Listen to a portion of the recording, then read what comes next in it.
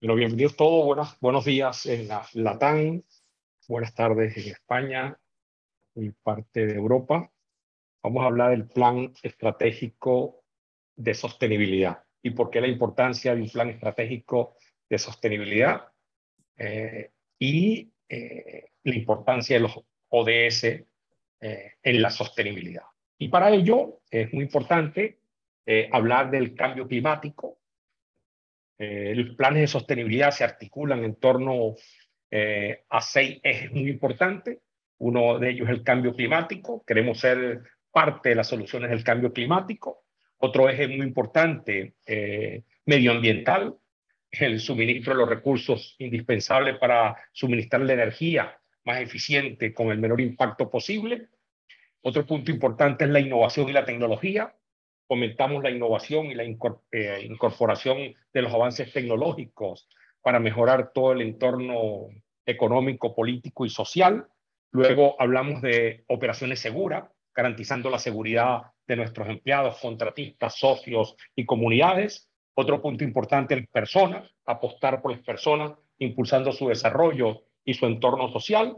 Y otro importante es la ética, la transparencia, ¿no? Y actuamos de forma responsable íntegra y ahí es donde estamos presentes en toda esta fase. Es muy importante tener claro que las empresas están caminando hacia la Agenda 2030 y 2050 a través de los 17 Objetivos del Desarrollo Sostenible y para ello deben impulsar dentro de su negocio un plan estratégico de desarrollo sostenible. Okay. Hoy en día muchas empresas del sector eléctrico para las cuales eh, estamos trabajando en varios países y para el sector de manufactura están impulsando un plan estratégico de gestión de activos basado en el desarrollo sostenible. Y para ello, hoy en día, los ODS juegan un papel muy importante en todas las estrategias de desarrollo sostenible y este tema es, es visto como uno de los pilares dentro de muchas corporaciones para cumplir con la Agenda 2030 y 2050. Y para ello, el cambio climático, el medio ambiental, toda la parte de operaciones seguras en las instalaciones, las personas, ¿ok? Y luego, muy importante, la innovación y la tecnología, la ética y la transparencia. Y todos vean que cada uno de esos 17 elementos está en un área específica en el área de la empresa. Y nosotros partimos en el área de Asset Management y Facility Management de los stakeholders internos y eh, los elementos que están en esos stakeholders internos. Luego partimos de los stakeholders externos y los elementos que están. Luego hablamos de los objetivos organizacionales y el plan estratégico de gestión de activos alineado a los objetivos y al plan estratégico del negocio de la compañía para buscar la continuidad del negocio. Hablamos de la gestión de compra y aprovisionamiento y la relación con el entorno medio ambiente y la comunidad. Y para ello tenemos eh, tres eh, profesionales cada uno en sus diferentes áreas, que nos van a hablar del tema basado en las preguntas que vamos. Y adelante, Roberto, te presentas. Muy bien, pues buenas tardes eh, a todos, como decía Luis, en Europa, buenos días en, Latinoamérica. Un placer estar de nuevo con, con, los amigos de PMM para hablar de sostenibilidad, de desarrollo sostenible, ¿no? y para hablar también de ética, de valores, de cultura, en fin, de una serie de cuestiones que vamos a ir viendo durante el webinar. Eh, bueno, eh, desde hace siete años, bueno, llevo trabajando en temas de sostenibilidad, responsabilidad social, ética empresarial, pues más de, de 20 años eh, desarrollando ¿no? este tipo de cuestiones, este tipo de aspectos vinculados sobre todo a, a las empresas y desde hace siete años en una consultora en Solidarity que pusimos en marcha con el foco puesto precisamente en el ámbito de la sostenibilidad. ¿no? Por lo tanto, eso quiere decir que bueno, tenemos ya una cierta experiencia ¿no? y un cierto bagaje en estos, en estos aspectos que, para, bueno, que también hoy en día se han convertido pues, en un elemento fundamental ¿no? para el desarrollo de cualquier empresa. ¿no? Y por lo tanto yo creo que también en un momento eh, bueno, agradable eh, en el sentido de que realmente hay una necesidad y una demanda por parte del mercado, también muchas veces ¿no? Eh, complejo, ¿no? porque no deja de ser un ámbito difícil ¿no? de, abordar, como muchos otros ámbitos de la gestión empresarial. Así que, bueno, pues eso para presentarme. Yo también estoy en, España, en, Valencia, eh, radicado, ¿no? Y por lo tanto, pues también eh, cuando veía las fotos estas que mostrabais, ¿no? disfruto eh, de manera habitual ¿no? de esos parajes ¿no? de la albufera, de la ciudad de las artes, así que nada, encantado. Roberto. con Diego Guzmán. Bueno, buenos días aquí para todas las personas de Latinoamérica. Buenas tardes para allá mis compañeros y amigos de España que los extraño. Bueno, me presento, mi nombre es Diego Guzmán, actualmente soy superintendente de operaciones y mantenimiento eh, del sector 4 de Ocensa, del oleoducto central, acá en Colombia. Eh, llevo aproximadamente 15 años eh, en la industria del oil and gas.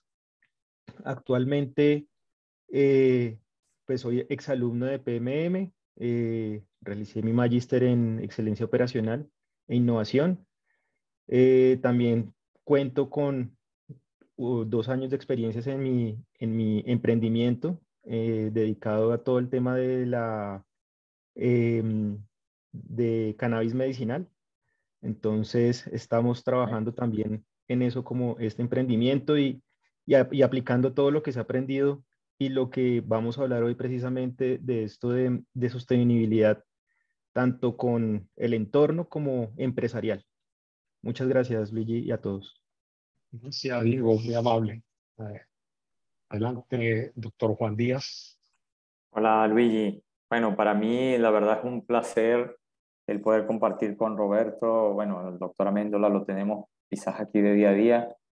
Eh, Roberto pues es nuestro profesor en, en, la escuela y bueno, le tengo mucha admiración porque la verdad que es un excelente profesional bueno, Luigi quizás lo vemos de diario, pero, pero igual, ¿no? Es, es, es difícil tener dos personajes de, del nivel de un listón tan alto, Luigi y Roberto. Bueno, sin duda, Diego, no, no quiero menospreciarte, es nuestro amigo también, eh, debo decir que también es químico como yo. Y bueno, para mí desde acá, desde Valencia, España, eh, es un placer y es una oportunidad maravillosa de poder compartir en un tema tan, tan álgido y tan importante como es eh, la sostenibilidad en las organizaciones. Eh, bueno, comentaremos un poco acerca del tema en base a las preguntas que nos va a comentar el doctor Améndola.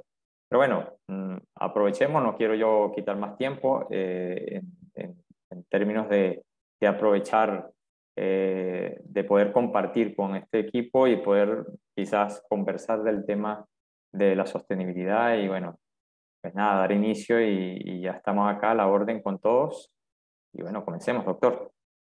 Gracias, Juan. Este es un tema muy candente porque yo recuerdo en un webinar que dio Roberto hace tiempo, que dice que algunas empresas ven los dos S por los colorcitos, que son bien bonitos.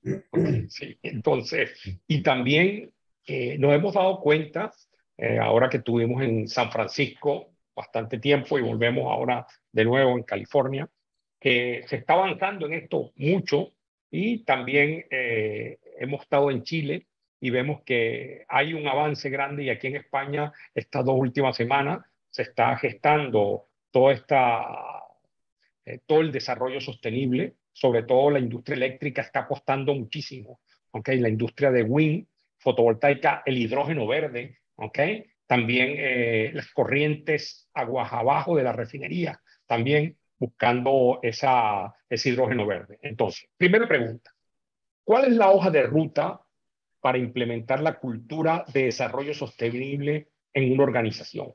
¿Cuál es esa hoja de ruta? No sé si comienza el doctor Roberto o, comienzo yo.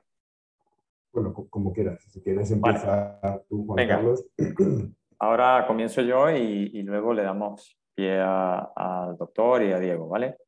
Bueno, yo creo que eh, todas las organizaciones eh, tienen, yo creo que se han dado cuenta la importancia del compromiso que se debe tener con el medio ambiente en todas las organizaciones. Cuando hablo de organizaciones, pueden ser organizaciones públicas y privadas, industria, eh, en fin, digamos que las organizaciones como tal ven en la sostenibilidad como que es algo importante, cosa que no pasaba hace quizás 10, 15 años, no se observaba ese impacto. Entonces, yo creo que muchas de las organizaciones, tal como les comentaba, de alguna manera están contribuyendo a, eh, alinearse con lo que establecen las Naciones Unidas en cuanto a los 17 ODS, los objetivos del desarrollo de sostenibilidad. Mm, yo lo que, lo que creo es que muchas de estas organizaciones, al momento de que se plantean la posibilidad de eh, establecer e implementar ah, la cultura de desarrollo sostenible en, en, la empresa, pues se hacen algunas preguntas creo que son clásicas. ¿no? La primera es, a ver, ¿qué es lo, qué es lo primero que debo hacer? Eh, luego es, ¿Cuál es la normativa que eventualmente aplica? Yo ahora en este punto no voy a hablar de la normativa, sé que han aparecido cosas por allí interesantes que voy a comentar más adelante, pero sí voy a comentar las cosas que a mi juicio deberían sí suponer algunos hitos que se deberían estar cumpliendo para de alguna manera poder implementar la cultura del desarrollo sostenible en las organizaciones. La primera acción es verificar todo lo que tiene que ver con regulaciones buenas prácticas y las políticas públicas de la organización en el lugar que se encuentre. Es decir, yo tengo que hacer una verificación del inventario de las normativas, tengo que hacer un diagnóstico previo, tengo que elaborar procedimientos si eventualmente no los tengo. La segunda acción que es fundamental es todo lo que tiene que ver con innovación, investigación y transformación empresarial. Eso sin duda, el, tener una hoja de ruta digital es fundamental dentro de este proceso. La tercera acción es tener una gestión de residuos. O sea, hacer, de alguna manera, dentro del proceso yo debo involucrar este tipo de cosas. Una acción mm, cuarta que es bien significativa es todo lo que tiene que ver con la economía circular. El tener previsto la economía circular. A mí me gusta mucho este punto y bueno, sé que el, eh, Diego y Roberto van a estar de acuerdo conmigo, es uno de, de hecho uno de nuestros cursos.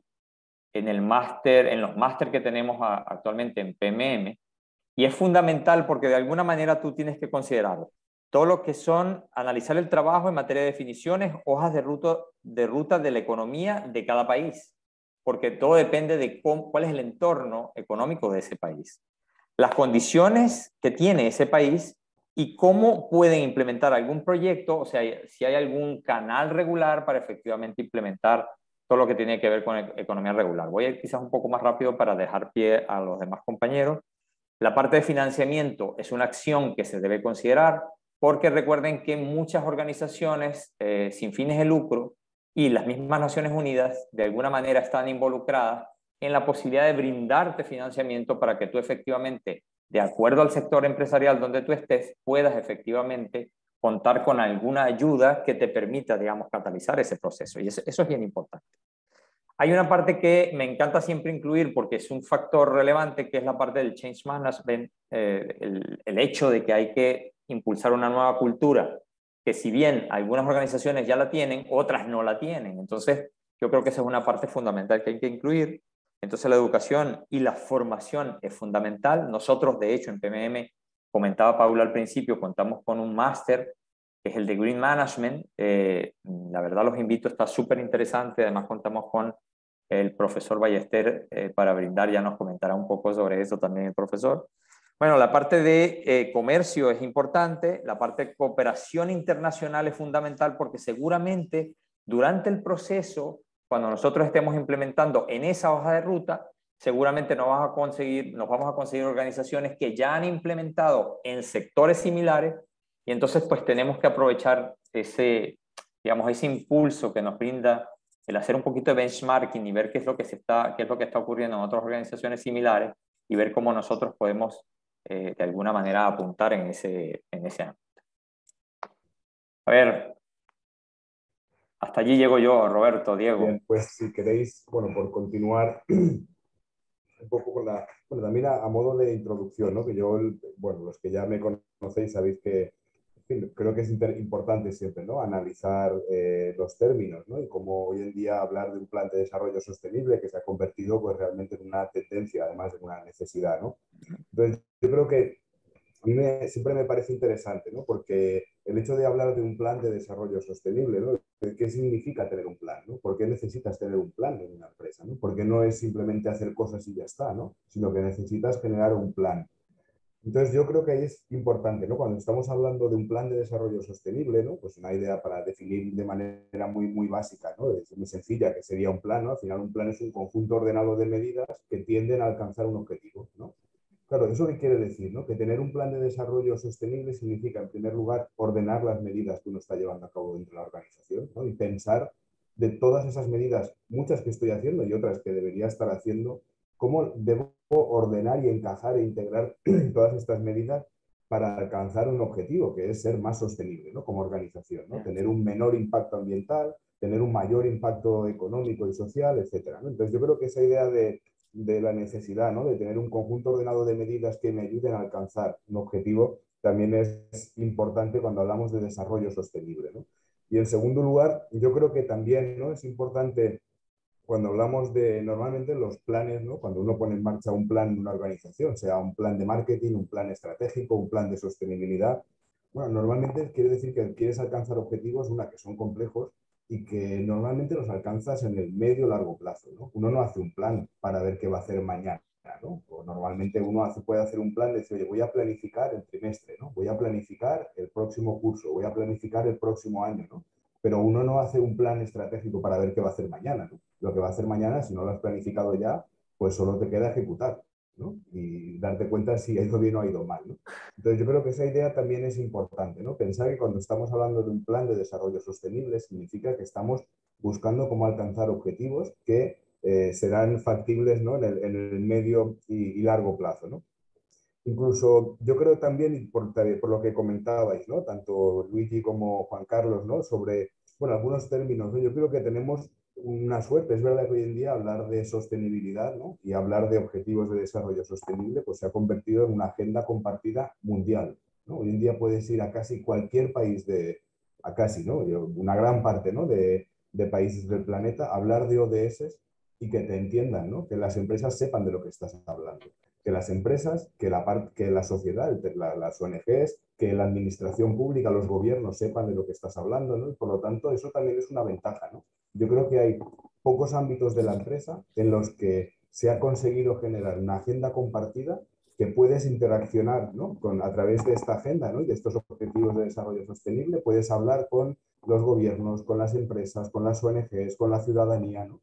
Por lo tanto, yo creo que eso también es importante tenerlo en cuenta, ¿no? que yo creo que es, eh, es algo eh, relevante, ¿no? yo creo que, es también eh, importante. Bueno, y luego, eh, entonces, ¿no? Eh, yendo un poco a la pregunta, ¿no? Es decir, ¿es necesario, ¿no? cómo llevar a cabo una cultura ¿no? de, desarrollo sostenible? Bueno, también la primera pregunta es si necesitamos una cultura ¿no? dentro de la organización determinada para generar un desarrollo sostenible. Yo creo que obviamente la respuesta es que sí, desde mi punto de vista, para que sea perdurable. Esa, eh, impulso de sostenibilidad dentro de la organización, necesitas generar una cultura. ¿no? Por lo tanto, cuando uno piensa que, la hoja de ruta, lo, primero es trabajar para generar una cultura de sostenibilidad. Es decir, que la organización se viva esta perspectiva de la sostenibilidad como parte de la manera de ser de la organización. Yo creo que esa parte también es muy importante y por eso, en ese sentido, ¿no? dentro de ese ámbito de la generación de la cultura, pues un aspecto importante es definir, un primer paso dentro de esa hoja de ruta es definir bien cuál es el marco ético de la empresa, ¿no? cuáles son los compromisos éticos que la empresa está dispuesta a asumir, que cree que son necesarios asumir, ¿no? por lo tanto, esa parte yo creo que es muy importante, ¿no? generar la cultura, integrar la cultura y después comunicar la cultura. ¿no? Yo creo que una especie de, hoja de ruta muy básica, ¿no? muy sencillita de tres pasos, ¿no? decir, la primera, es necesario generar una cultura y por lo tanto eso es importante y para eh, generar una cultura necesitas trabajarla, necesitas identificar ¿no? cuáles son esos compromisos éticos, cuáles son esos valores éticos de la organización, necesitas hacer el proceso de integración, ¿no? de integrar bien en la organización, que todas las personas comprendan ¿no? y vivan cuál es la cultura de la organización. Y en tercer lugar, pues esa parte de comunicación también incluso enfocada hacia afuera, ¿eh? una comunicación externa, de contar hacia afuera cuáles son esos compromisos, cómo lo estás haciendo y, qué es eh, importante. ¿no? Yo creo que en ese sentido, ¿no? Eh, yo creo que es eh, necesario. Y luego para, bueno, también una parte fundamental, ¿no? Yo creo que en este caso, cuando hablamos de desarrollo sostenible, probablemente también sea una característica específica ¿no? de, este ámbito que lo diferencia de otros ámbitos también muy importantes en la gestión empresarial. ¿no? Yo también en esto siempre digo ¿no? que ahora que hay una cierta bueno, a mí no me gusta decir que es una moda, ¿no? Porque espero que no sea una moda, ¿no? Pero es verdad que hay un cierto boom en estos ámbitos de la sostenibilidad. pues también es bueno recordar que hay otros aspectos de la gestión empresarial que son muy importantes, ¿eh? que no podemos descuidar y que tenemos que también eh, atender ¿no? de una manera eh, importante. ¿no? Entonces yo creo que, por eso decía, ¿no? que una vez tienes esta, esta cultura ¿no? que tienes dentro de la organización y que en el fondo hablar de generar una cultura de sostenibilidad tiene que encerrar esta idea de intentar que la empresa sea más perdurable en el tiempo. ¿no? ser más sostenible significa ser más perdurable, es decir, que puedas, que tu empresa tenga más probabilidades de perdurar en el mercado, de perdurar ¿no? en, el contexto social en el que estés actuando. Y yo creo que esa parte eh, también ¿no? pues es importante tenerlo en cuenta. ¿no? Por lo tanto, yo creo que ese serían un poco ¿no? como algunos aspectos que yo creo que es eh, necesario ¿no? a la hora de, de pensar ¿no? en esa primera parte ¿no? de esa hoja de ruta para generar una cultura de la organización y decía que un aspecto específico ¿no? de, de, este ámbito es que para hablar de desarrollo sostenible hoy en día ¿no? necesitas generar también, ¿no? incluso como parte de la cultura de la organización, eh, necesitas generar una cierta interacción con los stakeholders. ¿no? Es decir, necesitas dialogar con los grupos de interés. ¿no? Yo creo que hay otros ámbitos de la gestión empresarial que probablemente solo necesitas una interacción interna, ¿no? Puedes dar participación o puedes dialogar con los empleados o empleadas de una empresa, etcétera, y con eso puede ser suficiente, ¿no? Pero cuando hablamos de un aspecto también ¿no? importante a la hora de generar o de integrar una cultura de desarrollo sostenible dentro de la organización, implica generar una cultura de diálogo con los grupos de interés. ¿no? Es decir, ¿qué pasa en mi comunidad? ¿Qué es lo que, ¿no?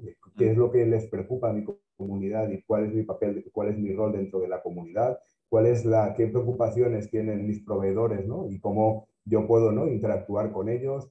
Con qué, qué eh, dificultades ¿no? o qué es lo que me está demandando mis clientes y por lo tanto esta idea ¿no? de un diálogo continuo con mis grupos de interés también es un aspecto fundamental ¿no? de esta hoja de ruta uno tiene que tener en cuenta para integrar una cultura de sostenibilidad dentro de las organizaciones. Sí, Roberto.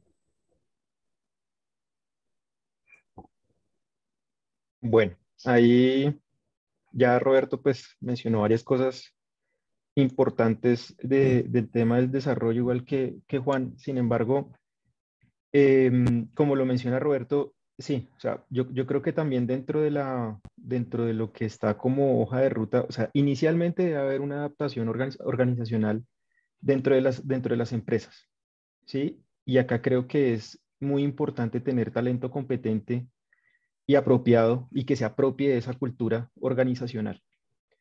Em, adicionalmente, también es importante Em, generar valor con esos grupos de interés. Una vez, una vez tengamos estos objetivos trazados transversalmente, es importante que se generen la generación de valor con, de estos grupos de interés. Y creo que esto se logra diversificando las diferentes fuentes de ingreso de cada compañía, ¿sí? Porque viéndolo como sostenibilidad, sabemos que debe ser sostenible con el medio ambiente, con la misma gobernancia de la compañía, con la sociedad pero sin embargo también hay que hacer la, la, compañía sostenible y para esto debe diversificarse en, en, en, en, distintas maneras para poder eh, lograr su objetivo y los ingresos y obviamente es un cumplimiento financiero. O sea, si nosotros no tenemos una compañía sosteniblemente y, y sostenible y financieramente hablando, pues no vamos a hacer nada con nuestro entorno, ¿sí? Entonces creo que es importante la, diversificación. Em, también creo que esta sostenibilidad nos va a llevar a tener pues esta, esta utilidad operacional que pues que deseamos y obviamente un impacto positivo tanto al ambiente como a la, como a la sociedad. Em, creo que hay dos cosas importantes que nosotros debemos tener en cuenta dentro de las organizaciones y es la generación de valor y la adaptación. Sea, debemos estar adaptándonos constantemente a los cambios que nos lleva em, pues la industria como tal. Entonces, em, creo que debemos estar pensando en todo el tema de tecnología e innovación, eh, un modelo organizacional óptimo que se, que, que se vaya cambiando a la medida en que vamos avanzando, ¿sí? tener un talento, tener cultura organizacional y en la generación de valor pensar cómo maximizar la, infraestructura que nosotros tenemos. Esto, esto es lo que nos va a hacer realmente sostenibles y como, le, como lo digo, debemos comenzar desde el núcleo de la organización hacia nuestros grupos de interés. Entonces, em, dentro de esta, dentro de esta sostenibilidad, pues es importante ver en esa hoja de ruta qué queremos a un corto, mediano y largo plazo, cómo lo vamos a hacer y tener ya las, las metas y objetivos trazados. Eh, pongo un ejemplo, eh, dentro de la compañía donde yo trabajo se tiene, digamos, metas trazadas dentro de la sostenibilidad y como lo mencionaba Juan, con temas muy asociados a la economía circular. Siendo una empresa em, del oil, and gas, la gente se comienza a cuestionar mucho de cómo una empresa de oil and gas puede pensar en, economía circular y, realmente sí es posible. El tema de aprovechamiento de aguas, em, no, no tomar de fuentes hídricas, sino de aprovechamiento y almacenamiento de agua, em, de aguas lluvias.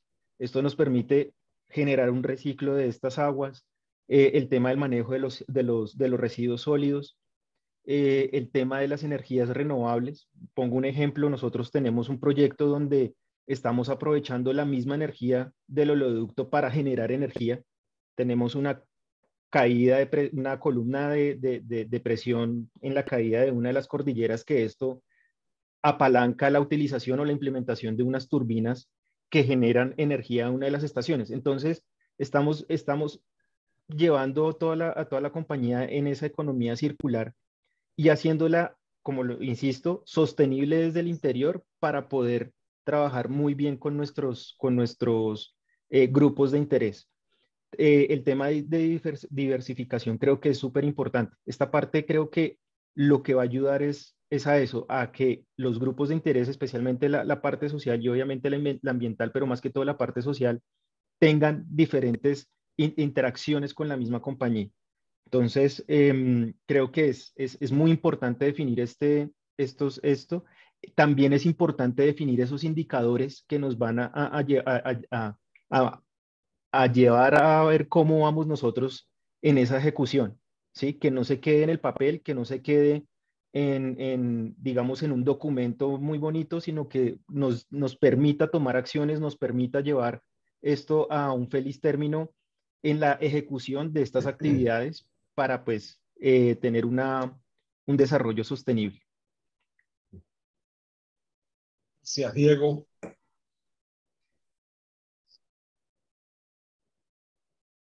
La segunda pregunta.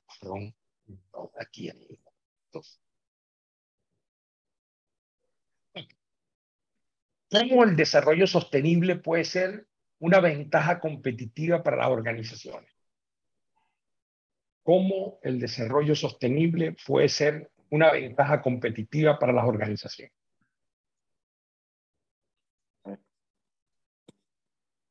¿Empiezas tú, Diego? ¿Sí? ¿O empiezas tú, Roberto?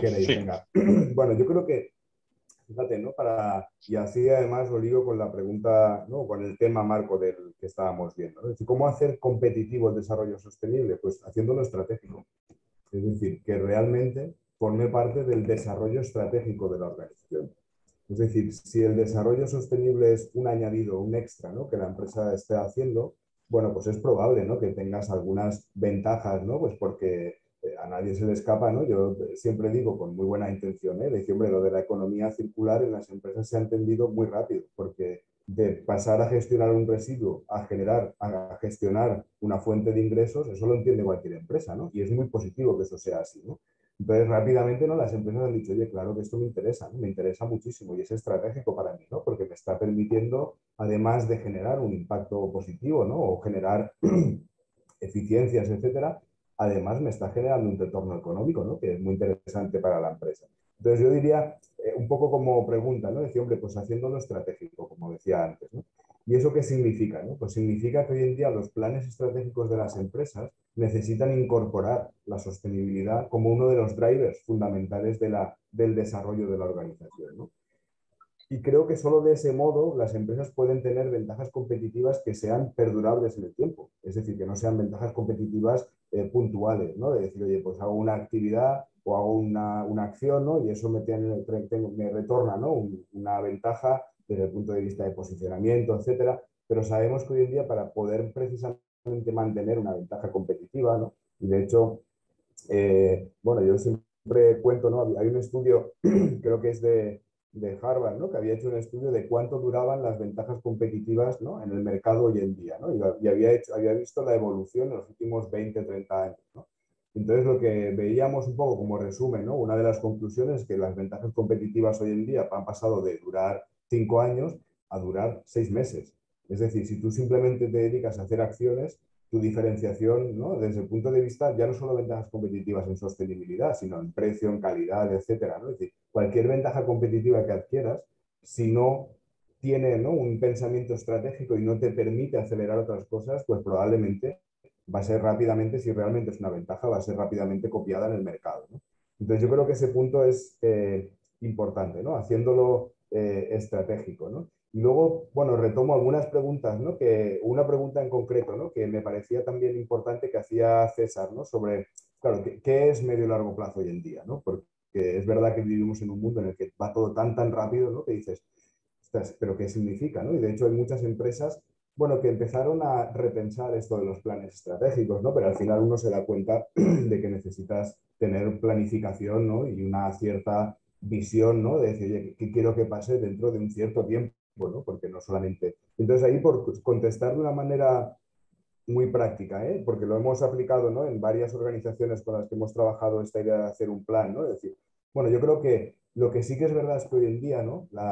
Tenemos demasiadas incertidumbres en el corto plazo como para estar planificando solamente pensando ¿no? en, el corto plazo. Entonces, eh, bueno, dándole una vuelta a esto, cuando recuerdo ¿no? en un par de planes estratégicos que hemos hecho, ¿no? al final lo que hacíamos es decir, bueno, vamos a fijar una visión a largo plazo. Y en concreto decíamos, oye, vamos a fijar una visión de dónde queremos estar en 2030. ¿no? Es decir, dónde queremos que esta empresa esté en 2030. Y a partir de esa visión de largo plazo, ¿no? es decir, ¿qué queremos, dónde queremos estar ¿no? dentro de siete años o de ocho años en este caso, vamos a elaborar planes estratégicos que nos ayuden a llegar a alcanzar esa visión, ¿no? ese objetivo de, de más largo plazo. ¿no? Y en concreto en este caso, nuestra propuesta era hacer planes estratégicos entre dos y tres años. Es decir, cada dos o tres años el plan estratégico probablemente tengas que cambiarlo continuamente, ¿no? es decir, que tengas que renovarlo. ¿no? Entonces, con una visión a largo plazo te permite tener dos, tres planes estratégicos que te ayuden a alcanzar esa, esa visión, ¿no? ese, eh, propósito a largo plazo que has ido fijando. Y luego también añadiría, ¿no? es decir, claro, yo creo que precisamente ¿no? por estas incertidumbres que decía, ¿no? yo creo que también, y de hecho recomiendo, hay un libro de un profesor que era eh, Xavier Gimbert, que ha sido era profesor de SADE y ha estado trabajando en, Perú durante unos cuantos años en, la Universidad del Pacífico, creo que se llamaba, un libro que tiene, ¿no? donde un poco la idea es decir, bueno, yo creo que las empresas tienen que, tienen que empezar a introducir esta idea de un pensar estratégico.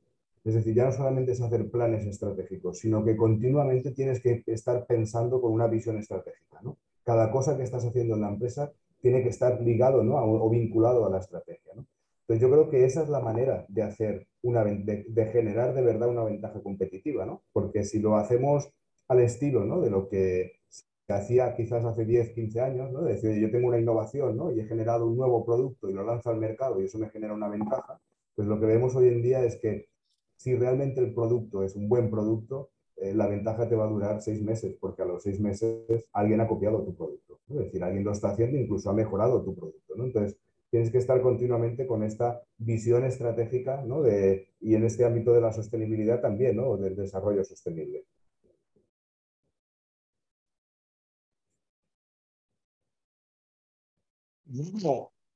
Muy bien.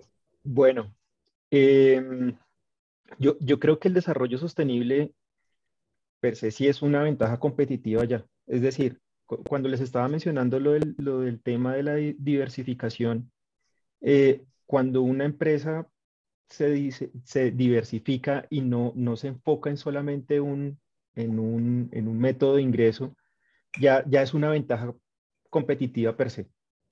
Eh, yo considero que es importante que este desarrollo sostenible y en cada una de las diversificaciones que genere la compañía debe de cierta manera em, estar muy alineados, obviamente, con la estrategia y debe estar alineado con, con, estas áreas de interés. Entonces, yo creo que primero se debe pensar eso en una competitividad financiera, ¿sí? eh, optimizar el costo operacional. Acá, acá entra mucho también el tema, y, no, no va a entrar mucho en detalle, pero el tema de la gestión de activos es muy importante. Todo esto es un, es, es un, es un, es un ciclo que nos va a permitir ser competitivos, tener un desarrollo sostenible, ¿sí? Y tener una excelente gestión de activos. Entonces creo que esto va, va todo esto va muy atado. Entonces es importante, eh, como, como lo mencionaba, o sea, si la compañía es sostenible, el entorno es sostenible. Obviamente debemos tener los objetivos claros de cómo vamos a estar asociados con este, con este entorno. Em, también, también creo que es importante consolidar como ese, eh, em, esas oportunidades, ¿sí? Eh, que nos está brindando pues la misma, el, mismo movimiento de la industria.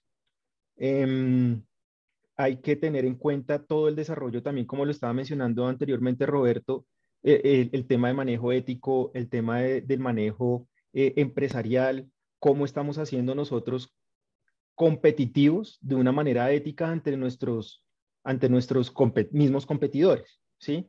Eh, creo que tenemos que ser justos en esto, em, llevar una, una, una, también una, no solamente diversificación financiera también, sino también una diversificación en, el, en, el, digamos, en el núcleo de la compañía, ¿sí? O sea, no, no estar em, em, alejados de todos los grupos étnicos, de eh, si hay una orientación sexual, si hay edad, religión, creo que eso también nos, nos vuelve muy competitivos. Entonces, desde, yo creo que desde ese núcleo de la, de la organización vamos a ser competitivos. Si nosotros tenemos una diversificación financiera y una diversificación eh, cultural dentro de la compañía, va a ser, va a ser una consolidación muy importante para, para el desarrollo y para la continuidad operativa como tal. Y obviamente, pues esto va a traer, traer bastantes beneficios y una posición en el mercado que establezca eh, o que nos permita, nos permita establecer unas estrategias que logren y atraer y retener más eh, clientes y colaboradores, que creo que es lo que uno busca en este caso. Entonces, em, básicamente es eso, Luigi, Roberto y Juan. Sí, adelante, doctor Juan Díaz. Vale. Bueno, yo, yo voy a hablar como, como coordinador de la escuela, de PMM Business School. Yo recuerdo una clase de la doctora Tibaire de Paul, donde nos decía algo interesante. Decía, es que no, no solamente uno gana dinero cuando tú produces más, sino cuando realmente consigues ahorrar más. Y resulta que una de las premisas que nosotros como organización sostenible o cualquier organización debe tener como organización sostenible es uno, tú te vas a diferenciar si si considera la sostenibilidad como una premisa. Eso es importante. Con la visión en que muchas organizaciones están aplicándolo, eso parecería no una diferencia. Pero si tú lo, lo tomas con el objeto de que vas a ahorrar, porque con una economía circular tú puedes conseguir ahorrar, los márgenes de ganancia se amplían. Entonces yo creo que eso es significativo en términos de términos financieros. Yo creo que eso es relevante. Y algo que decía Diego es, es bastante importante, porque si ese efecto de ahorrar efectivamente y teniendo la premisa de la sostenibilidad, tú consideras el bienestar tuyo y de tu entorno, entonces tú aseguras una supervivencia de la organización de, valga la redundancia, de la sostenibilidad en términos de generaciones futuras. Entonces eso creo que es importante. Y hay un punto que quizás no hemos tocado ninguno de nosotros, y que creo que es relevante y es la marca corporativa. O sea, el hecho, y lo decía Luigi al principio, eh, uno pincha ahora cualquier, cualquier página web y aparece un montón de colorcitos y ya tú asocias inmediatamente de que eso es, o sea, al menos esa organización tiene claro eh, los 17 principios de las ODS. Entonces, eh, digamos que eso es significativo porque te permite diferenciarte. Y muchas organizaciones tienden a comprar aquellas organizaciones que tienen culturas similares. Si en tu organización tú cuentas con una cultura de sostenibilidad, siempre vas a buscar organizaciones que tengan cultura de sostenibilidad. Eso, eso suena, suena lógico, ¿ah? pero no siempre lo hacen. Ahora, la marca corporativa te va a llevar siempre a eso, a que van a, cuando piensen en ti, van a pensar en sostenibilidad. Eh, yo recuerdo una, algo que dijo el profesor Nelson Cuello en una clase nuestra del máster de gestión integral de activos. Él decía, eh, dice, la sostenibilidad en el mundo empresarial tendrá un impacto positivo debido a la inclinación de los mercados hacia productos y servicios con un origen de sostenibilidad. ¿Qué quiere decir eso? Que las organizaciones tienden a alinearse. Yo lo decía en la primera pregunta, la cooperación. O sea, si logramos tener organizaciones que estén trabajando en términos de sostenibilidad, tú vas a buscar cooperar con organizaciones similares. O sea, siempre tratamos de, asociarnos con nuestros similares. Entonces yo creo que uno de los puntos más importantes en cuanto a ventaja competitiva es la marca corporativa. Yo sé que eso parece un fetiche, pero, pero es importante porque, porque tiene relevancia a la hora que tú selecciones a una empresa o selecciones otra empresa. Bueno, con esto sumo un poco a lo que había dicho Roberto y Diego, ¿vale? Sí, yo, una idea que, por, por, completar, ¿no? Porque yo creo que, bueno, o repensando, ¿no? O escuchando lo que estabais diciendo, ¿no? Es decir, claro, para que realmente sea, no, yo creo que normalmente tenemos una cierta tendencia, al menos en algunos sectores, ¿no? A pensar que las ventajas competitivas son aquello que uno muestra al mercado, ¿no? Que uno tiene ventajas competitivas en el producto, ¿no? Uno puede tener ventajas competitivas en el precio, ¿no? Entonces, yo creo que cuando hablamos de desarrollo sostenible, uno se da cuenta de que encuentra muchísimas ventajas competitivas si uno integra o si uno lo que hace es, eh, digamos, llevar esta idea o este plan de desarrollo sostenible a las diferentes áreas de la organización, ¿no? Porque uno puede tener ventajas competitivas, como decíais, ¿no? Por un ahorro de costes, uno puede tener una ventaja competitiva por una mejor gestión de las personas, ¿no? Dentro de la organización, uno puede tener, entonces, cuando uno empieza, digamos, a integrar ¿no? todo esta, este plan de desarrollo sostenible dentro de las diferentes áreas de gestión de las organizaciones, uno se da cuenta de que se pueden adquirir ventajas competitivas en muchos ámbitos, no, no solamente en el producto, ¿no? que también son muy importantes. ¿no? Un mejor producto más sostenible también es hoy en día un aspecto muy relevante. ¿no?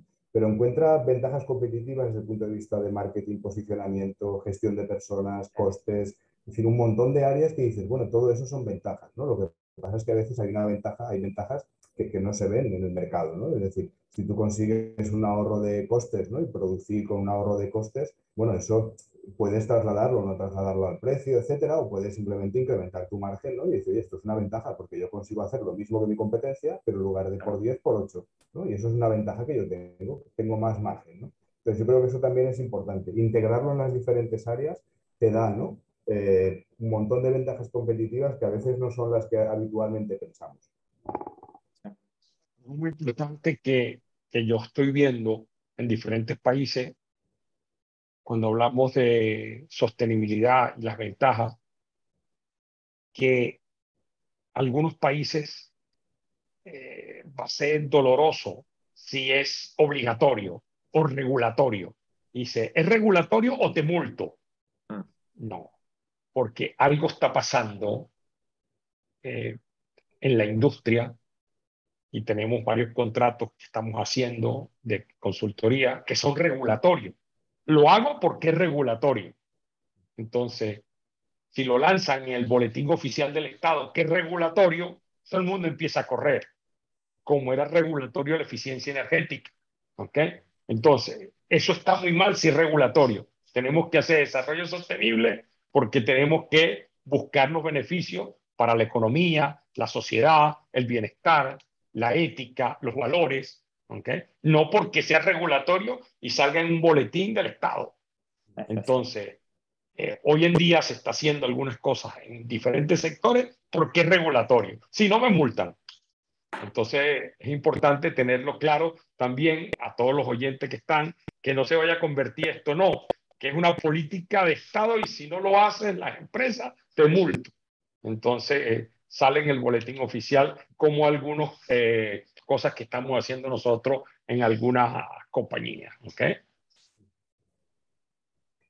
Yo, fíjate, yo solo diría, ¿no? Porque estoy de acuerdo con lo que dices, ¿eh? pero vamos, por también intercambiar algunas eh, ideas, ¿no? O sea, estoy de acuerdo con eso, pero también es importante trasladar la idea de que el hecho de que una empresa lleve a cabo estas acciones, no porque lo obligue la ley, sino porque tiene el convencimiento, porque cree que es lo mejor, etcétera, no es altruista. Es decir, no lo tiene que hacer sin esperar nada a cambio. Es decir, yo me comporto bien con mis empleados esperando que mis empleados estén más felices en mi trabajo, sean, tengan más posibilidad de retener el talento. Es decir, que el hecho de que no sea obligatorio no significa que es altruista. No, no, tiene retorno. Y eso es importante. ¿no? Por eso yo creo que eso es un poco de los, los argumentos que hay que usar con la empresa. ¿no? Decir, oye, esto, además de ser bueno, tiene retorno para la empresa. Genera retorno. Y esa es la parte que yo creo que hay que muchas veces enseñarles, ¿no? Para que entiendan que están haciendo algo bien y además están haciendo algo que genera un retorno para la organización. Digan todo lo que está diciendo Roberto, no, que salió un BOE y hay que correr para hacerlo, para cumplir. No, ¿ok? Tenemos que buscar esa, esos beneficios que buscamos, ¿no? ¿Ok? Porque ahorita tenemos varios proyectos que estamos haciendo porque son regulatorios, ¿ok? En otros sectores. Importancia de definir el desarrollo sostenible como un indicador de excelencia en tu compañía. Porque es importante tener un indicador, un KPI de sostenibilidad. Porque me lo han preguntado. Okay. Oye, este, ¿cuáles son los indicadores, los KPI que tiene que tener la alta dirección y el CEO y los stakeholders internos y externos y los inversionistas en torno al desarrollo sostenible? ¿Cómo, cómo generar esos indicadores? A ver. No sé si comienzo. ¿Comienzas tú, Diego? Ok. Bueno, bueno la, eh, la, importancia de definir esos indicadores es, es bastante alta. Como lo decía en algún momento, es lo que nos dice si, nos, si estamos haciendo las cosas bien, si las estamos haciendo y que no quede dentro de, dentro, pues solamente escrito en un, en, un, en un papel. Entonces yo creo que estos indicadores son importantes primero para evaluar el desempeño económico de la, de la compañía. ¿sí? Un desarrollo sostenible, insisto, debe iniciarse desde, desde la compañía hacia afuera. Adicionalmente, dentro de, estos, dentro, dentro de estos indicadores de desarrollo sostenible deben estar esos, esos indicadores, no solamente obviamente macroeconómicos, sino cómo estamos impactando, cómo estamos generando un impacto positivo eh, a, estos eh, grupos de interés. Eh, cómo nosotros en el tema ambiental, por lo menos acá en, Colombia, eh, con, el, con el tema de la, del ANLA que nos lleva a unas regulaciones que realmente estemos dándole un cumplimiento. Entonces yo creo que es importante generar estos indicadores basados en lo que estos grupos de interés quieren y necesitan. Eh, la parte ambiental, la parte social, la parte de gobernancia de la misma compañía, esos indicadores económicos, esos indicadores de la misma gestión de activos que nos permiten eh, apalancar todo lo que es este desarrollo sostenible. Entonces, esto hace que podamos medir, podamos controlar y podamos corregir cualquier desviación que se nos esté generando. Eh, yo, yo, creo también que ese, ese desempeño o esa, esa medición lo que nos va a ayudar es a generar, em, a dar prioridades, ¿sí? ¿Cómo nos vamos a diferenciar? ¿Cómo, ¿Cuáles son esas prioridades transformadas o, que van a generar transformaciones, ¿sí? Em, y cuáles de ellas pues van a tener como esa, ese, cuáles van a tener un relacionamiento con la sociedad, cuáles van a ser un relacionamiento con la, con, la, con la gestión y transformación energética, por ejemplo, eh, cuáles van a ser esas respuestas, cómo vamos a medir nosotros ese aporte eh, frente al cambio climático, la diversificación del negocio.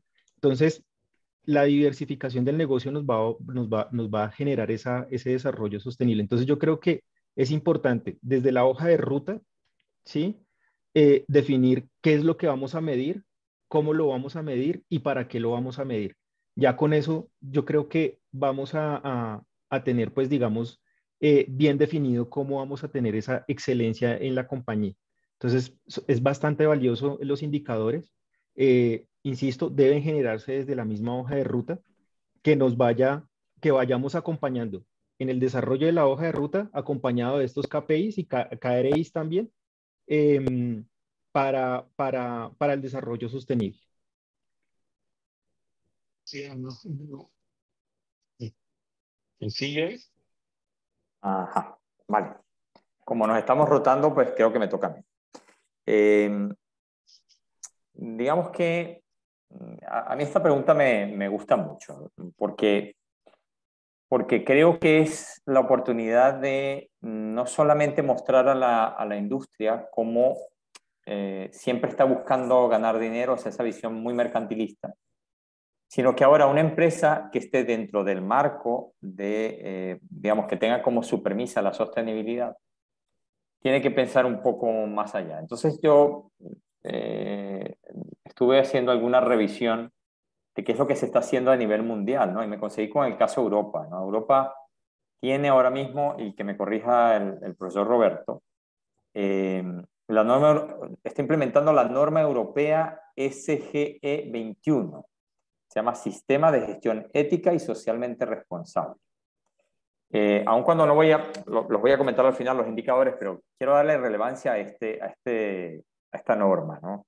Hoy día, decía Luigi, no es obligatorio. O sea, no, no, no te están obligando a ti como organización a contar con un sistema que, de gestión ética y socialmente responsable quizás orientado en términos de los ODS. Yo tuve la oportunidad de leerme la, norma y me conseguí que, bueno, es la verdad bastante sencilla, creo que for Dummy es bastante manejable. Eh, digamos que presenta niveles de madurez interesantes y de alguna manera te permite a abordar todos, todas las empresas mm, con diversos sectores, o sea, y con diversos niveles de madurez. Porque ciertamente cuando tú tienes un nivel de madurez bajo en términos de sostenibilidad, Mm, pues no puede ser comparable a otras, a otras organizaciones. Entonces, digamos que este, este, esta norma de alguna manera te permite tener indicadores que efectivamente te permitan medir cosas que a veces no es tan fácil medir. Uno pudiese pensar en indicadores como transformación digital, porque eso ya sabemos que impacta muchísimo en todo lo que tiene que ver con sostenibilidad. Eh, yo pensaría un poco en medir huella de carbón, que, es esto, yo creo que todas las organizaciones de hecho, esto sí que se obliga en muchos lugares del mundo y tú tienes que verificar cuál es tu huella de carbón. Y así otros, otros indicadores que son eh, relevantes que decía eh, Roberto hace un ratito, que son stakeholders que tienen que ver desde, digamos, extra e intramuros. ¿Por qué? Porque tú tienes que medir que la implantación del sistema de la sostenibilidad como una vertiente importante en tu organización desde el punto de vista interno y cuál es la influencia que tiene externamente eh, esa norma. Entonces yo creo que, mm, digamos que es bastante importante el considerar cuáles son los indicadores, pero tener la visión de que todas las organizaciones, o sea, no se puede alcanzar éxito empresarial si no se crea un entorno sostenible.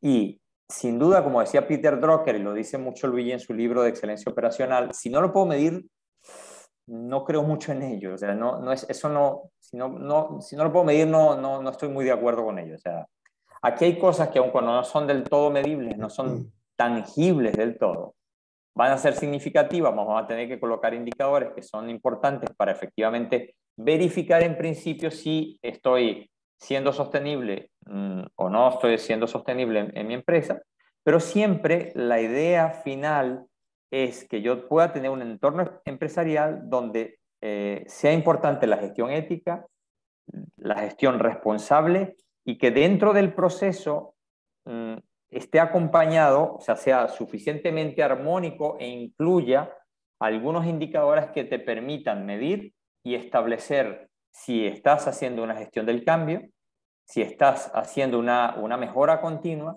que apunte hacia ah, una excelencia operacional en tu organización. Gracias, Juan. Una última pregunta, que es, esta es la pregunta que voy a decir algo muy fuerte. Me dicen, Luigi, me dicen los directivos, no me vengas con cuento, con PowerPoint y nada. Dime cuánto entra la hucha, ¿ok? Dime cuánto entra la hucha, ¿ok? ¿Cuánto, eh, de qué manera el desarrollo sostenible hace ahorro? Dime, esto sirve para algo. Porque ya cuando uno va, eh, porque un, un director general, un CEO de X compañía un vicepresidente de una eléctrica, cuando yo no les pongo sino tres láminas, tres, tres, tres tres. Y siempre, la última siempre pongo la pela, ¿ok? Entonces me dice, Luigi, dime cuánto me voy a ganar con esto. Entonces, esta pregunta, ¿de qué manera el desarrollo sostenible determina ahorro y beneficios tangibles o intangibles para la compañía? ¿Ok? Porque esa pregunta me la hacen todito, aquí en España, en Italia, recientemente en Estados Unidos. ¿Ok? ¿Cuánto entra en la hucha? La hucha es la, el cerdito. ¿Cuánto me va a entrar? Sí. Bueno, pues fíjate, yo ahí creo que es importante, ¿no? De, decir, ¿no? Pues eh, por ir a cosas quizás concretas, ¿no? Es decir, cuando uno trabaja, por ejemplo, en el ámbito de la cultura de la organización, es decir, ¿cuánto dinero me ahorra tener una buena cultura e integrar bien una cultura en la organización, ¿no? Bueno, pues hay muchos estudios, ¿no? Que hablan, por ejemplo, de un ahorro en costes de coordinación. Es mucho más caro coordinar una organización que no comparte una cultura que coordinar una organización con una cultura compartida. Y eso, bueno, un poco desde, el punto de vista del sentido común lo vemos, ¿no? Imaginad una empresa con un cierto tamaño que tenga que coordinar a las personas solo desde una visión normativa, ¿no? Desarrollando normas, supervisando, viendo que lo cumplen. Claro, eso es, muy caro y a veces poco eficiente. Por lo tanto, yo creo que también una cultura puede ayudar a generar costes de coordinación dentro de la organización. Y esa parte es, eh, es importante ¿no? tenerla en cuenta porque te, puede ahorrar realmente eh, una parte eh, importante de, los costes. Y luego yo creo que muchas de las cosas que habéis estado diciendo, ¿no? hablar de economía circular, etcétera, todo eso genera ahorro de costes, ¿no? es decir, genera ahorros o al menos es una fuente de ingresos. ¿no? Es decir, puede ser, puedes acabar ¿no? desarrollando otros subproductos que te generan ¿no? Una, unos ingresos dentro de, la organización. ¿no? Y en definitiva, y lo vinculo con la pregunta anterior, ¿no? Yo creo que, claro, al final los ahorros, ¿no? Los costes, cuando, y antes que hablábamos, ¿no? De la excelencia empresarial, etcétera, yo creo que hay una cuestión importante, ¿no? Que, que, la, que ayuda, ¿no? El integrar una cultura o un plan de desarrollo sostenible y una cultura de desarrollo sostenible, y es que te ayuda a gestionar más riesgos, ¿no? Y los riesgos al final, si no, lo, si no haces una buena gestión de riesgos, en este caso en ámbitos que quizás eran poco habituales en la empresa, ¿no? Es decir, eh, empresas que gestionen, por ejemplo, riesgos relacionados con los derechos humanos. Es decir, bueno, te puede costar mucho dinero no gestionarlo. ¿eh? Sea, tener una mala relación con la comunidad, ¿no? O generar un impacto negativo en la comunidad cuesta mucho dinero. Y hay ejemplos, ¿no? De empresas que han tenido que, que sus costes se han multiplicado por tres que el tiempo de implantación, ¿no? y seguramente en eso Diego tendrá mucha más experiencia, ¿no? es decir, que el coste de implantación de una fábrica o de un proceso ¿no? te cuesta el triple de lo que te iba a costar porque no has sido capaz ¿no? de, de, entender que habían algunos riesgos vinculados ¿no? con algunos derechos de las personas, de las comunidades. Entonces yo creo que ahí hay una parte ¿no? de, esa, gestión de riesgos abierta ¿no? a los ámbitos del desarrollo sostenible, ¿no? de una sostenibilidad, que también son ahorros en costes, ¿no? ahorros de manera concreta. ¿no? Yo no tengo la experiencia, pero soy más o menos capaz de imaginar lo que cuesta eh, pues en una industria como por ejemplo el oil and gas que estaba diciendo, ¿no? que una implantación en un determinado territorio de que en lugar de un año sea tres años. Y cuesta mucho dinero, ¿no? porque son dos años en los que no estás generando ingresos. ¿no? Y, eso cuesta mucho dinero desde el punto de vista de esa hucha que, decía Luigi. Y a mí, a mí está muy buena respuesta. Eh, ¿quién, ¿Quién va? ¿Diego o Juan? Sí. A ver, Diego, que... Bueno, gracias. casa. Bueno, Juan, gracias. Bueno, eh, eh, yo creo que para determinar el, el, ahorro en los costos de la organización, mmm, yo creo que es importante hablar de toda la cadena de abastecimiento, ¿sí? Como lo decía Roberto, desde el momento en que se adquiere un bien hasta la misma, un bien o un servicio, hasta la misma implementación. Entonces, yo creo que acá eh, en esta, en esta parte de una gestión sostenible, eh, es importante de, pues, tener en cuenta em, hacer referencia a la integración estratégica y por lo menos y también transparente de los procesos de contratación. Eh, creo que eso, hablando nuevamente de la, de la parte ética, eso también va, va, a generar un ahorro. Y las compañías deben dedicarse también a que socialmente si va a haber un proyecto previamente capacitar a la, misma comunidad, ¿sí? Darle la oportunidad de trabajo. Esto lo que va a hacer es que si hay una persona capacitada o por lo menos generando un acompañamiento, em, pues va a ser mucho más económico para la misma compañía va a generar ahorros que, no sé, traer em, cinco especialistas de Alemania y, pagarles 10 veces más de lo que podríamos tener localmente tres personas capacitadas con un especialista de, Alemania. Entonces yo creo que acá debe haber como un balance de eso, dar las oportunidades a las comunidades. Em, también es importante saber cómo se va a gestionar pues esta, esta sostenibilidad y esta cadena de abastecimiento que pues va a generar ahorros en cualquier, en cualquier tipo, en cualquier parte de esta, de esta, de esta cadena. Em, los ahorros también, digamos, desde mi punto de vista, creo que son ahorros tangibles e intangibles, es decir, eh, un ahorro en la parte ambiental cuando yo estoy haciendo una reutilización del agua, pues eso, eso ya es un ahorro, ¿sí? O sea, como lo mencionaba también Juan, o sea, no, no todo es dinero, sino también hay ahorros que uno puede ver em, de otra manera, ahorros en, en, en, la huella de carbono, ahorros en la emisión de CO2, ahorros en la, en la huella hídrica, y todo eso va a generar un impacto, ¿sí? Entonces, eh, creo que eso es, eso, es, eso es otra manera de determinar esos ahorros en la organización. Insisto, no todo debe ser dinero, sino también cómo esos ahorros se están generando a nuestros entornos. Buena respuesta, Diego. Ok, tan buena como la de Roberto. Adelante, Juan. Vale, fíjate, fíjate eh, un poco con lo que decía ahora mismo Diego. Yo creo que, sin ánimo de estigmatizar a las empresas, el, fin último de una empresa es generar dinero. O sea, tú buscas generar ingresos. Ahora bien, yo creo que los tres estamos de acuerdo, o los cuatro para incluir a Luigi, estamos de acuerdo de que efectivamente en un eh, desarrollo sostenible siempre tenemos presente como premisa fundamental el ahorro. Yo creo que, yo creo que todos estamos de acuerdo en ello. Entonces, eh, un, poco, un poco voy a traer uh, un ejemplo a colación de uno de nuestros estudiantes. Él hizo, bueno, ahora mismo lleva una inversión más o menos de unos 600 mil dólares en su organización. Eh, y básicamente lo que está haciendo es, es Energy Management, que por cierto es una de las clases de nuestro máster en gestión integral de activos, bueno, que también lo dictamos en, en paralelo con el máster de innovación y el máster de eh, Facility Management. Eh, él está haciendo energy management, o sea, le está haciendo gestión de la energía. Y el ahorro significará en tres años aproximadamente el 20% del retorno sobre la inversión que ha hecho. Es un poco para que se hagan una idea de lo que, si ponemos un indicador de lo que efectivamente se puede ahorrar en dinero, considerando aquellos factores que eventualmente están involucrados en todo lo que tiene que ver con eh, la sostenibilidad en cualquier organización. Fíjate cosas que pudiésemos nosotros eventualmente, eh, digamos, tener un, ahorro eh, teniendo un poco de conocimiento en estas áreas. Uno es el que acabo de nombrar, Energy Management. Dos, y, creo que acuerdan conmigo Diego y Roberto en eso, que es economía circular.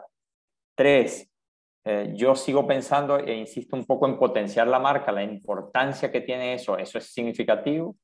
Cuatro, que quizás no le hemos comentado mucho, que es la transformación digital de la organización, porque cuando vamos a aplicar efectivamente, mm, digamos, vamos a hacer un desarrollo sostenible sobre la organización, hay que aplicar en paralelo todo lo que tiene que ver con la transformación eh, digital, establecer una hoja de ruta de todos los procesos para efectivamente ser más eficaces, mm, lograr una mejora continua que a la larga se traduce en ahorros, quizás menos, menos tangibles, pero sí ahorros al fin y al cabo.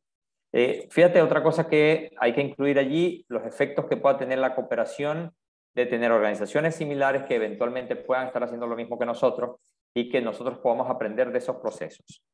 Eh, no quiero dejar de lado algo que para nosotros es sumamente importante porque dictamos ese curso en nuestro máster y es cuando hacemos, tenemos muchos activos, de repente tú tienes una organización que es masiva en activos y entonces tú haces el análisis del ciclo de vida. Y aquí, mira, me, voy a copiar lo que dice Luigi, que Luigi da esta clase en el máster. Si tú tienes en tu organización muchos activos y efectivamente haces un cuidado del ciclo de vida de estos activos, tú pudieses, número uno, hacer lo que dice Roberto, considerar los riesgos que eventualmente tiene el tener claridad en, los, en, el, en el ciclo de vida de los activos. Y número dos, el ahorro que eventualmente tendrías. Ahora Recuerdo que hablé con Luigi ahora que vino de, Chile, que tuvo en el, en el Business Tour. y se consiguió con que a una empresa, que no voy a nombrar, le pueda ahorrar, a ver, corrígeme Luigi, ¿eran 5 millones de euros? sí. 5 millones de euros solamente por hacer las cosas bien. O sea, solamente por aplicar ciclo de vida. Eso es hacer sostenibilidad. O sea, el hacer gestión de activos de alguna manera implica hacer sostenibilidad. Entonces nosotros tenemos que ver todas esas variables. Y quiero cerrar con algo que eh, ahora que Luigi estuvo en, en San Francisco, nos lo dijo acá en reunión, y creo que es bastante importante, que es que quizás el activo más importante que nosotros tenemos en nuestra organización son las personas. Y yo creo que si tú logras que en la organización haya gente pensando, tú vas a ahorrar muchísimo dinero. Entonces, la sostenibilidad tiene que ver con la gente que tenemos en la organización y con la gente que está fuera de la organización, tal cual lo decía Diego. Si tenemos en la organización gente pensando, vamos a tener al, final del túnel bastante luz y vamos a poder ahorrar bastante en, nuestros procesos y lo vamos a hacer bastante más sostenible. Gracias, Luigi. Gracias, Juan. Hay un, una cosa que del ciclo de vida, que hay un cuello de botella hoy, hoy en día, que es los compromisos residuales. Por ejemplo, eh, cuando hago diseño conceptual, básico, detalle, opero, mantengo y luego retiro un aerogenerador, ¿a dónde lo tiro? ¿Para dónde lo, lo, lo, lo voy a tirar? ¿A dónde? El compromiso residual, ahí.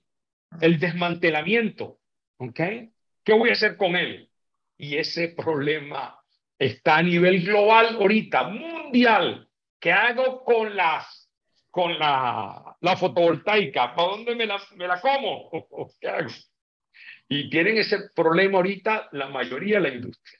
Entonces es muy importante. ¿Hay alguna pregunta, Paula? O yo creo que por el tiempo, ¿no? Yo creo que debemos dar las gracias a Diego, a Roberto y a Juan por su intervención. Pueden escanear el código de barra, ¿ok?